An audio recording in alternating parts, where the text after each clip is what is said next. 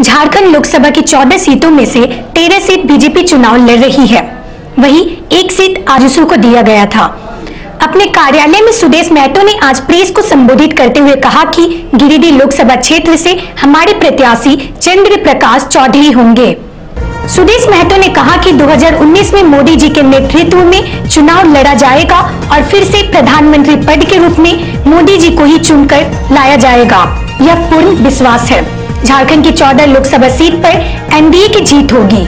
आजसू और बीजेपी के सभी कार्यकर्ता मिलकर चंद्र प्रकाश चौधरी को गिरिडीह संसदीय क्षेत्र से सांसद बनाने का काम करेगी। इस पर जल संसाधन मंत्री चंद्र प्रकाश चौधरी ने कहा कि गिरिडीह संसदीय क्षेत्र से मुझे उम्मीदवार बनाया गया है।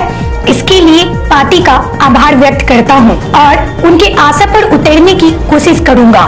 गिरिडीह की जनता आजसू के पक्ष में मतदान ज़रूर करेगी और फिर से सरकार बनाने में आजसू पार्टी सहयोग करेगी। लोकसभा क्षेत्र उम्मीदवार के रूप में खड़ा करने का निर्णय लिया गया। मैं अपनी ओर से पार्टी ने जो जिम्मेवारी मुझे दी है तो मैं पूरा प्रयास करूँगा कि